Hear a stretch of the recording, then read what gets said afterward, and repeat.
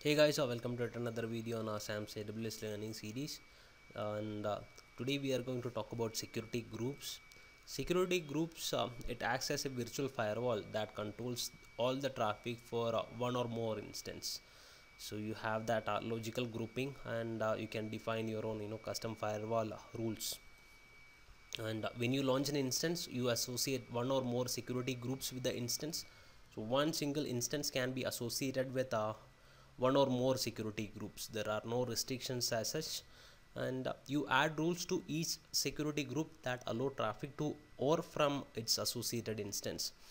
And uh, you can modify the rules uh, for a security group at any point uh, point in time.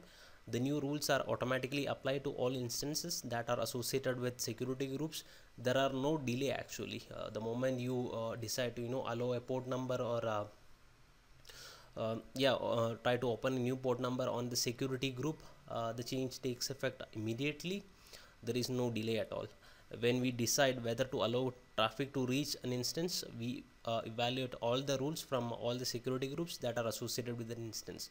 That's how you anticipate or that's how you calculate that instance uh, um, status. What are the you know traffics allowed and uh, what what's uh, defined you know uh, reach that instance and that being said let me you know quickly go to the console. So I'm here in my console. I'll have to navigate to EC2 and then on your left hand side you will find uh, security groups right under network and security. Click on that. So uh, I could see you know two different uh, security groups. The one which I've uh, created explicitly uh, for uh, I mean in a lab session. And this is the you know default one. So all the you know accounts it will have a default security groups which is associated with your default VPC so let's see what's inside that. And uh, the inbound traffic uh, it's allowing all the you know uh, inbound traffic. And this is the you know source. I think this is yeah. And outbound traffic it's allowing all the you know outbound traffic as well so let's you know quickly go ahead and create a security group. I'm gonna call this as a demo security group. And I'm gonna say demo as description.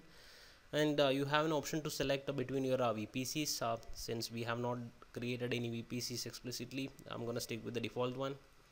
And by default uh, the inbound traffic um, every inbound traffic is you know denied. And uh, let me quickly go over here. Outbound traffic I can see an entry. For all traffic it is allowing all the outbound traffic by default. So I can uh, go ahead and you know uh, allow this SSH all you need to do is you know select the type and uh, you you will be you know uh, getting the protocol and port range automatically. And you can lock it down to a you know custom source. If you know the you know IP address you can define that or if you want to lock it down to your local IP yes you can do it. And anywhere that will you know open up the connection to all the you know all the sources out there. So I'm gonna say create. And uh, that's it guys. I mean uh, the security group is created and uh, let's take a look at uh, something else here. So outbound uh, i mean inbound and outbound uh, that that are the you know those are the areas where you have the option to you know allow traffic. And let me you know quickly do this. Let me allow rdp so this is the remote desktop connection protocol. I'm gonna say anywhere. And the moment I click on that uh, that uh, you know uh, RDP uh, connection protocol is uh, available here. I mean uh, it'll it'll be you know it'll be in effect in in no time. And the moment I say you know I define anything in inbound section it's gonna open up that port number. 3389 that's a port number used for RDP that will be allowed uh, in outbound as well. So whatever you define uh, in outbound that will have uh, a way back in inbound. So it's it's both interconnected and uh, that's why uh, security groups are known as uh, stateful so the moment you allow port number automatically it will be allowed to go back in and i think um, that's all guys i mean key thing you can associate uh, n number of security groups to a single uh, uh, EC2 instance. Thanks a lot for watching the video guys. Uh, I'll, I'll see you in the next one.